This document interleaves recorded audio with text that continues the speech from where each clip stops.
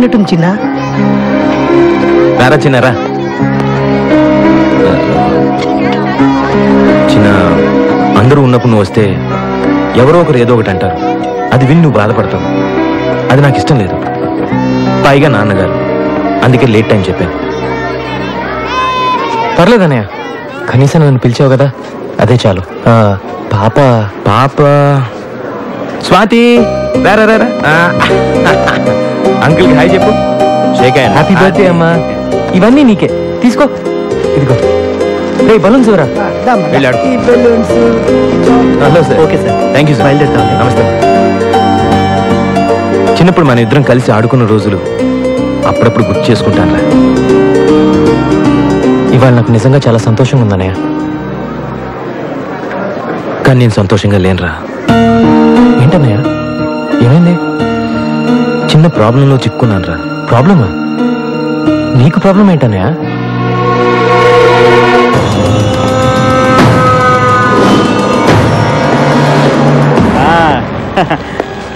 Arrest ఏయ్ నన్ను sorry Ranga. నీ జామీన్ గడువు అయిపోయింది. నేను వెంటనే అరెస్ట్ చేయమని కోర్టు ఆర్డర్.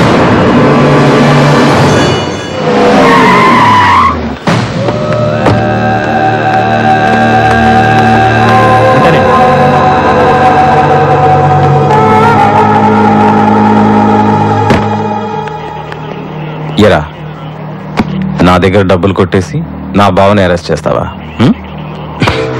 ఎన్ని గుండెలు రాని.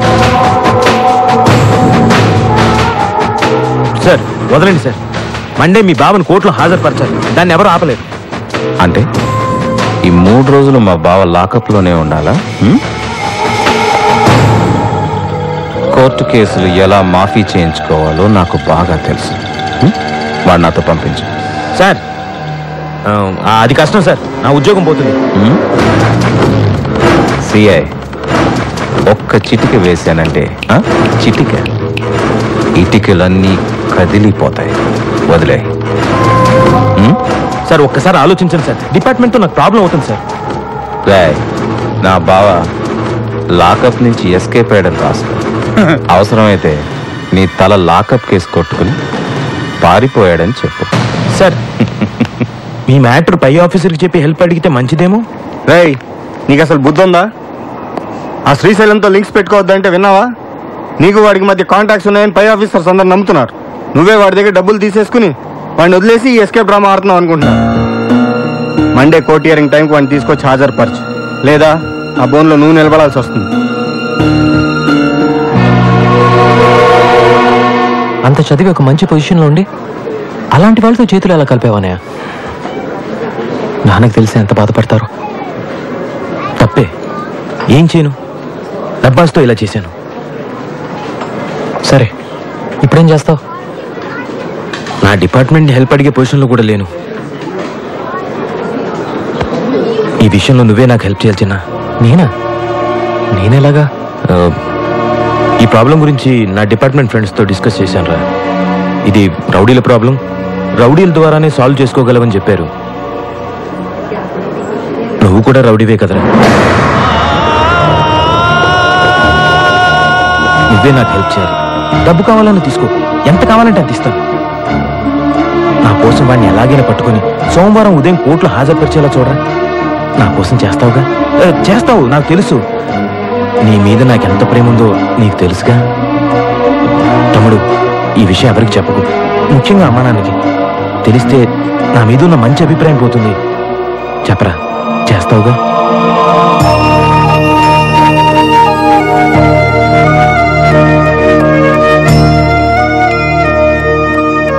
చేస్తాను. థ్యాంక్స్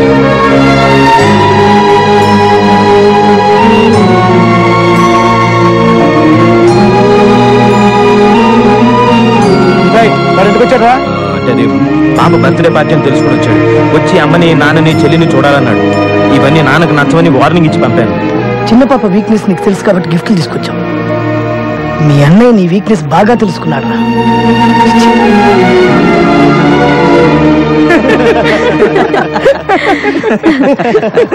వెరీ గుడ్ చిన్న అందరూ నిన్ను బాగా రిసీవ్ చేసుకున్నారు అయితే. నీకేంటి బాబు? మీ వాళ్ళకి క్లోజ్ అయిపోయావు. ముందు ముందు నాతో మాట్లాడడానికి కూడా టైం ఉంటుందో లేదో. అలాంటిది ఏం లేదు అంజలి. లేట్ అయిపోయింది కదా రేపు మాట్లాడదాం. ఓకే? గుడ్ నైట్ ఓకే చిన్న. చిన్న. అనవసరంగా మీ అన్నయ్య చెప్పిన గొడవలోకి వెళ్ళి అంజలికి నీ మీద ఉన్న నమ్మకాన్ని పోగొట్టుకోవద్దు. నేను చెప్పాల్సింది చెప్పా. తర్వాత నీ ఇష్టం.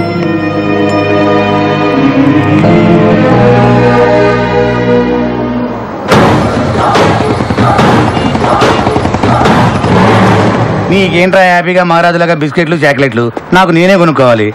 అన్నట్టు నీదే తింటే పోలా? ఒకటే ఒకటే. ఏంటి? బాబు ఏడుస్తున్నాడా? అబ్బాయి ఏం లేదమ్మా బిస్కెట్లు తింటూ హ్యాపీగా ఉన్నాడు. సుబ్బరాజు ఆ.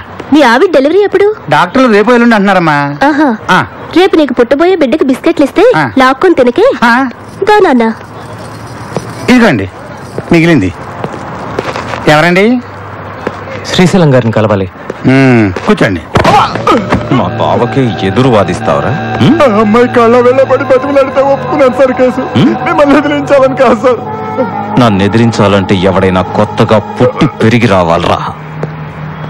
వచ్చి చాలాసేపు అయిందండి. కొంచెం చెప్తారా?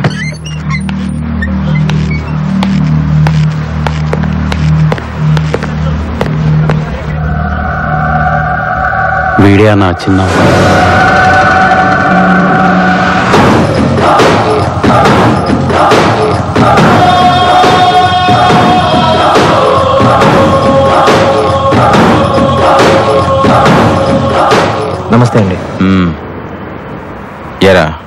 మా కుర్రాళ్ళతో గొడవ పడుతున్నావంట? సరే. ఏం కావాలి? మీ బావ కావాలండి. ఏంటి అడిగావు? చూడు. నీ ఏరియాలో ఏదో చిల్లర గొడవలు చేసుకుని బతుకుతున్నావు. బతుకు. ఇది నా ఫ్యామిలీ మ్యాటర్. ఇందులో ఎంటర్ అయ్యావో? చస్తా. ఇది మీ ఫ్యామిలీ మ్యాటరే కాదండి. నా ఫ్యామిలీ మ్యాటర్ కూడా. మా అన్నయ్య చాలా ఇబ్బందులు ఉన్నాడండి. మీ బావని ఎల్లుండి పొద్దున్న తొమ్మిది గంటలకల్లా కోర్టుకు పంపించేసేయండి. వస్తానండి. పంపకపోతే ఏం పీకుతావురా? పంపకపోతే పాటేస్తాను దాచిపెడితే దంచేస్తాను పారిపోనిస్తే పంపరేపుతాను అవసరం వస్తే నీ నరాలు పేగులతో నా కొడుకుని కోర్టులో ఉరిదీస్తాను రాయ్!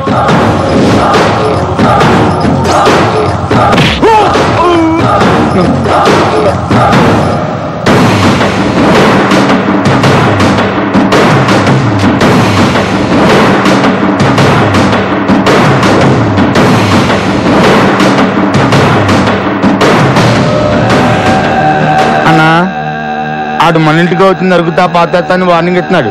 ఆయన ఇలాగే వదిలేసాం అనుకో అన్నంత పని చేస్తాడేమో అన్నా. వీడి సంగతి చూడ్డానికి ఇది టైం కాదురా. వాడికి దొరకకుండా ఈ రెండు రోజులు మనోడిని ఎక్కడన్నా దాచాలి. దాచడానికి ఒకే ఒక చోటు ఉందన్నా. ఎక్కడ? ఎందుకు రా కాల్ టాక్సీ? అన్నా మీ బామ్మర్దికి నలుగురు మనుషులను తోడుగా పెట్టి ఈ కాల్ ట్యాక్సీ లో రెండు రోజులు సిటీ మొత్తం ఎక్కడ ఆపకుండా తిప్పించామనుకో ఇంకా చిల్లాగాడు చచ్చిలా పట్టుకోలేడు. చాలా బాగుంది. అవునన్నా చాలా బాగుంది. ఏంటి బాగుంది? ఆ, ఆ చిన్నగాడి ముందు మన ఆటలు ఏం సాగవు. నా మాట వినండి. నన్ను ఎక్కడికైనా ఫారెన్ పంపించండి. తప్పించుకోవడానికి అది ఒక్కటే మార్గం. నన్ను ఎక్కడికైనా ఫారెన్ పంపించండి. ఫారెన్కి పంపు ఫారెన్కి పంపని మళ్ళీ మళ్ళీ కాల్ చేయొద్దు. నువ్వు పోతే నా చెల్లి ఆ బాబు సంగతి ఏంటి చూడు. నువ్విక్కడే నా కళ్ళ ముందే నా చెల్లితో హ్యాపీగా ఉంటావు అందుకేం చేయాలో నేను చేస్తాను. ఈ బండి డ్రైవర్ ఎవర్రా? అడుగో ఆడే వెళ్ళరారా ఇది వస్తున్నా. నమస్తే అన్న. రేయ్ ఆ. ఎట్టి పరిస్థితుల్లోనూ బండి నాపద్దు అర్థమైందా? అర్థమైందన్నా. ఎందుకు అర్థం అవదు అన్న నడిపే రెండు రోజులకి రెండు వందల రోజులు కిరా ఇచ్చారు. ఆరు సంవత్సరాలు ఆటో నడిపిన అనుభవం ఉందన్న మనకి. చూస్తారుగా నా talent.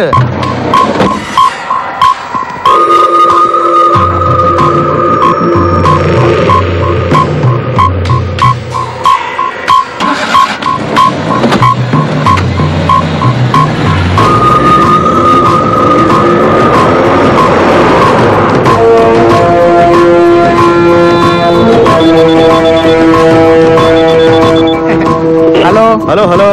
Control room come on line three five nine zero. Kukatpally circle దగ్గర మనిషి ఉన్నాడు. అక్కడ పెట్రోల్ పోసుకో. ఓకే ఎలా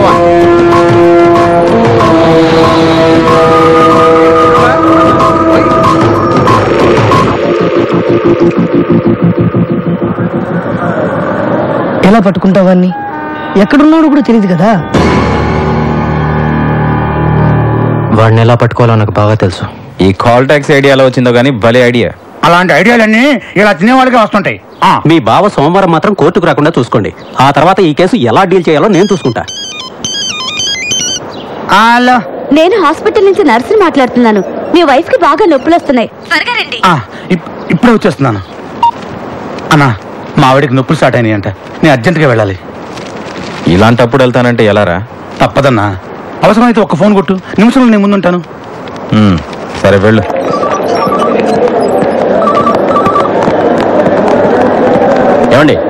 మీరేగా సుబ్బరాజు? అవును డాక్టర్. కంగ్రాట్స్ మీకు అబ్బాయి పుట్టాడు. తల్లి బిడ్డ ఇద్దరు క్షేమం.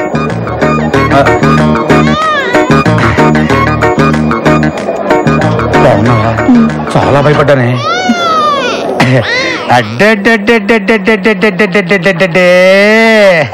చిన్న బుద్ధి నా పులి బిడ్డ. ఏమే? మనకు పుట్టింది అబ్బాయా అమ్మాయా? ఇది పులి బిడ్డ కాదే. పులి పాప. ఏమోనండి నేను స్పృహలోకి వచ్చేసరికి ఆడపిల్లే ఉంది. మనకు పుట్టింది అమ్మాయి కాదే. అబ్బాయి. సిస్టర్. చెప్పండి. మా ఆవిడికి పుట్టింది అబ్బాయి అమ్మాయా? అబ్బాయినండి. మరి ఇక్కడ అమ్మాయి ఉందండి? అవునా? అయితే అమ్మాయినండి. ఏంటి ఆడుకుంటున్నారు అన్నతోటి? చంపేస్తాను. మరి ఎలాగా నా బిడ్డ నాకు ఇవ్వండి దీనికి అసలు మా ఇద్దరు పోలికలు లేవు. Doctor! Doctor! Doctor! Doctor- hello! నీది కాని బిడ్డని జీవితాంతం పెంచాల్సిన నీ పరిస్థితి చూస్తుంటే చాలా జాలేస్తుంది. ఎవరు నువ్వు? చిన్న. హా? ఈ రోజు హాస్పిటల్లో తొమ్మిది మంది మగపిల్లలు పుట్టారు.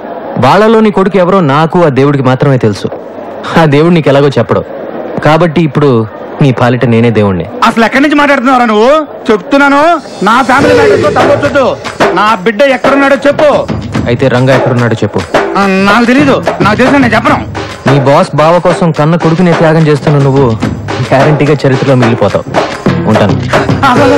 చెప్తా చెప్తా చెప్తాను అతను కాల్ ట్యాక్సీలు పెట్టి సిటీ అంతా తిప్పేస్తున్నారు చెప్పేశాక ఇప్పుడు చెప్పు. నా బిడ్డ ఎక్కడున్నాడు? నా పని పూర్తవగానే నీ పని పూర్తి చేస్తాను. బండి నంబర్ చెప్పు.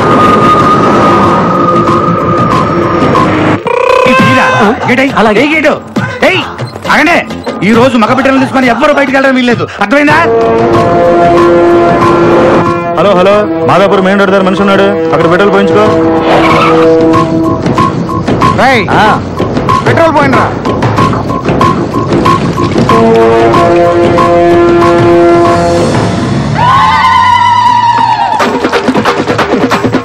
రంగు నీళ్ళు మని పనికి వస్తాయి. ఆ బండి కాదు.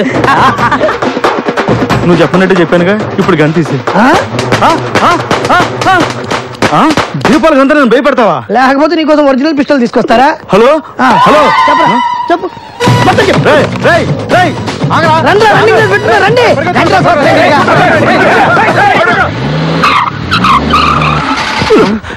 రే ఏంట్రా? బండి భూకంపం వచ్చినట్టు ఊగుతుంది. అదే తిరగట్లేదన్నా. అన్నా భూకంపమే కాదన్నా సునామీ కూడా కలిపోతుంది.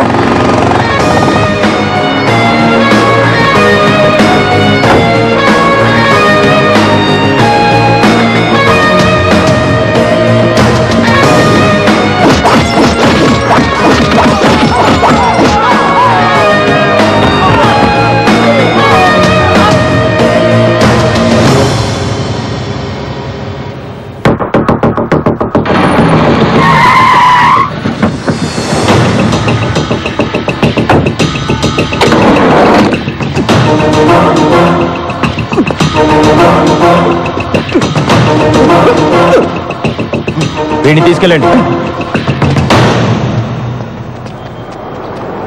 థ్యాంక్ యూ ఏంటి ఏం జరిగింది? లోపల పిచ్చోడు ఉన్నాడు. బయట వాళ్ళని లోపల వెళ్ళినాడు లోపల వాళ్ళని బయటికి రానేడు. మీ ఒళ్ళల్లో ఉన్న బిడ్డల్లో నా బిడ్డ ఉన్నాడో లేదో నేను చెక్ చేసుకోవాలి. ఆ, ఈ బిడ్డ కొంచెం నా పోలికలు ఉంటున్నాయి అయితే కాదు నాకు పుట్టిన బిడ్డను వాడెవడో ఏకంగా మార్చేశాడు. అడిగితే తెలియదంటారా? ఇది ఆసుపత్రి మీరంతా డాక్టర్స్. చంపేస్తా కలిదారంటే ఏయ్, ఆగో ఎక్కడికి? మగబిడ్డ పుట్టాడండి ఇంటికి తీసుకెళ్తున్నాం. ఆ తీసుకెళ్తావు. ఈ బిడ్డ నా బిడ్డ వచ్చుగా నా బిడ్డ ఎవరో తేలే వరకు బయట లోపల రావడానికి వీల్లేదు లోపల బయట పోవడానికి వీల్లేదు. అంతే పోయి ఆడ కూర్చోండి కూర్చోండి. వెళ్ళండి కూర్చోండి. హలో ఎవరా? చిన్న. ఒరే చిన్న నీకు దండం పెడతాందా నా బిడ్డ ఎవరో చెప్పరా? ఇక్కడ టెన్షన్తో చచ్చిపోతున్నాను రే. నువ్వు నీ చేతులతో ఆడించావే? ఆ బిడ్డే నీ బిడ్డ. హాస్పిటల్కి రాగానే నీకు కంగ్రాట్స్ నీకు అబ్బాయి పుట్టాడని చెప్పాడే ఆ డాక్టర్. అతను మాత్రమే నా మనిషి. మిగతా అంతా నువ్వే కన్ఫ్యూజ్ చేసుకున్నావు. ఒక బిడ్డని తల్లి నుంచి దూరం చేసే దుర్మార్గుడిని కాదు నేను. అలా దూరం అయితే ఎంత బాధ ఉంటుందో నాకు తెలుసు.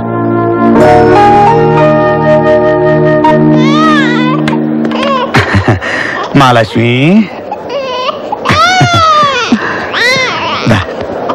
ఉంటానండి పోలీసు వారు సమర్పించిన సాక్ష్యాధారాలను పరిశీలించిన పిమ్మట రంగా హత్య చేశాడని కోర్టు నిర్ధారించడమైనది. ఈ కేసు తీర్పుని ఈ నెల ఇరవై ఏడవ తేదీకి వాయిదా వేయడమైనది. అన్నా ఎలా తెలిసిందిరా వాడికి? నీ పాటికి నువ్వు ప్లాన్ ఇచ్చి దొబ్బేశావు. ఆ టైంలో నువ్వు ఇక్కడ ఉండుంటే ఇదంతా జరుగుండేది ఆలోచించకుండా నిన్ను నమ్మాను చూడు. అదే నేను చేసిన పెద్ద తప్పు. అంటే పాప పుట్టిందని? అరే ఏంట్రా పాప పుట్టింది? పుడితే ఏంటి చస్తే ఏంటి? సంవత్సరానికి ఓ పాపను పుట్టించవచ్చు నా భావం తీసుకురాగలవా? తీసుకురాగలవా? పుట్టించాడు పాపని.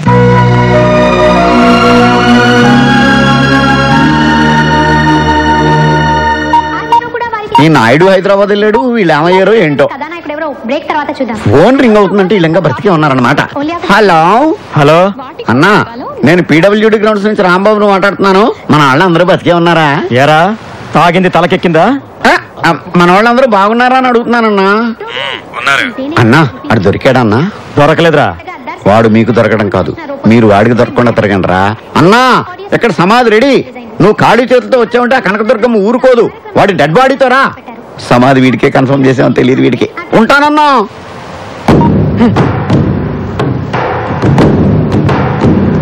అన్నా.